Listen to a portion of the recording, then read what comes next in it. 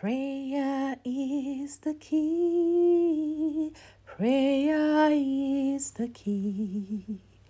Prayer is the master key.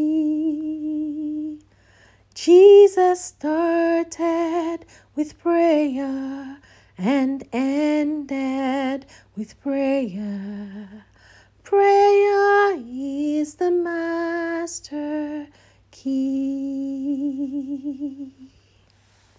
Prayer is the master key. Amen.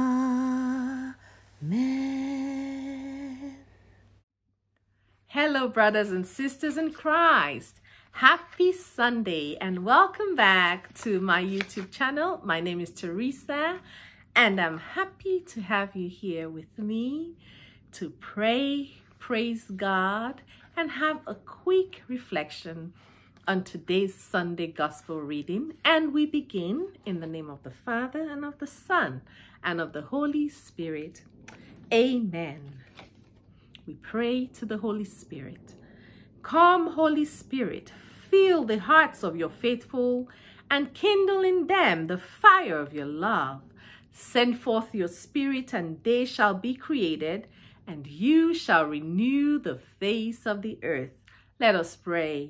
O God, who by the light of the Holy Spirit did instruct the hearts of the faithful, grant that by the same Holy Spirit we may be truly wise and ever rejoice in his consolation through Christ our Lord.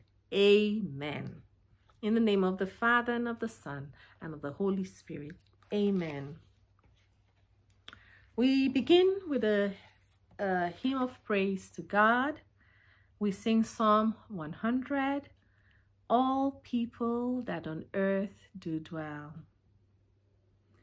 All people that on earth do dwell, sing to the Lord with cheerful voice. Him serve with fear, his praise forth tell.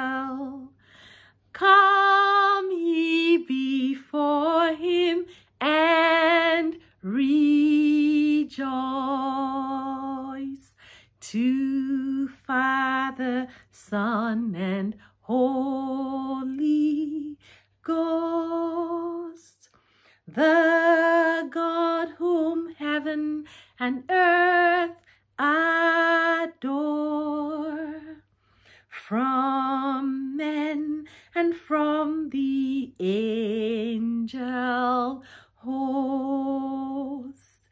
Be praise and glory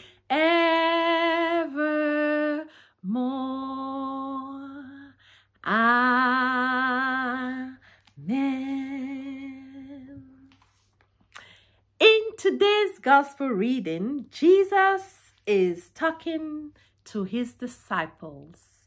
He's talking to you. He's talking to me.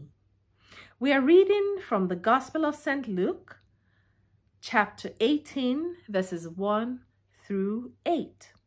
It is the parable of the persistent widow.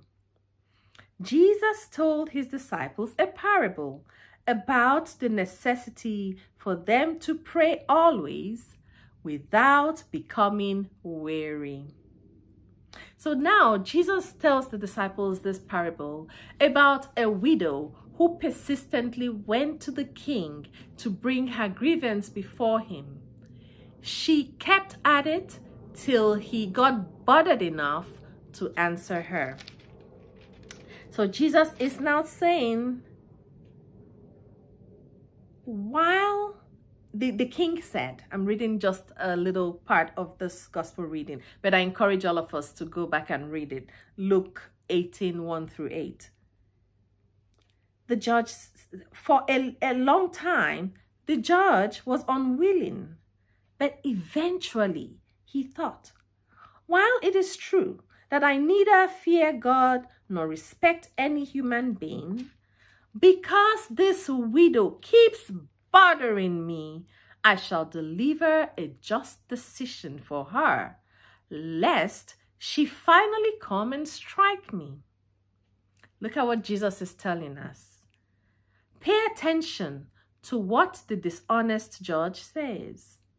Will not God then secure the rights of his chosen ones who call out to him day and night? Brothers and sisters, we are to call on the Lord day and night. We are to pray without season. That's what Jesus is telling us. It doesn't matter what the physical is showing you. It doesn't matter what it looks like or what happened to so, so, and so. Keep praying. Have faith.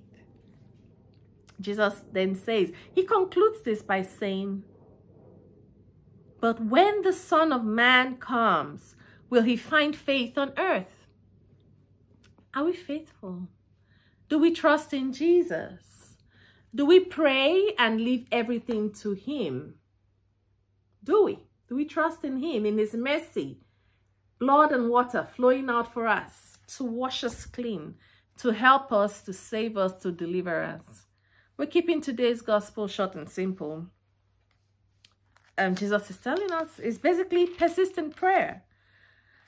And then I'll just chip in a little bit about today's first reading, which was from the book of Exodus, chapter 17, verses 8 through 13, where Moses sent Joshua and the army to go fight with the Amaleks so long as Joshua's and Moses' hands were raised up in prayer, Joshua's army was winning. But whenever he was wearied and his arms came down, the other army was winning. So Aaron and Hur supported Moses' hands, one on one side and one on the other, so that his hands remained steady till sunset. We also have help to keep our arms steady through our daily prayers, a day and night, when we are happy, when we are sad, when we are when we don't even know what to do. We're supposed to pray. And we have help to keep our arms up. The Holy Spirit, the saints, the sacraments, especially the Holy Spirit. Say, Come, Holy Spirit, fill me Teach me to pray. Help me to pray. Amen. Amen. And then also, I'm just going to chip in today's responsorial psalm, which I love so much. It's from Psalm 121. The psalmist says, I lift my eyes toward the mountains. Whence shall help come to me? My help is from the Lord who made heaven and earth. That's our focus today and all our days. God will help us. Like the widow, we are going to pray without ceasing. We're going to be persistent. Keep on knocking that prayer. Ask, seek, knock. Jesus, I love you. I trust in you. Help me, help me, help me. But always remember, God's will be done. Amen. Amen. And then we go through the day today and all this week, no matter what comes our way, we're going to say, My help is from the Lord who made heaven and earth. Amen. Amen. I'm going to round up with a quick song, a chorus from my childhood as well, as usual. Prayer is the key. Jesus is telling us to pray always, to pray persistently, to persevere in prayer. So we're going to sing this.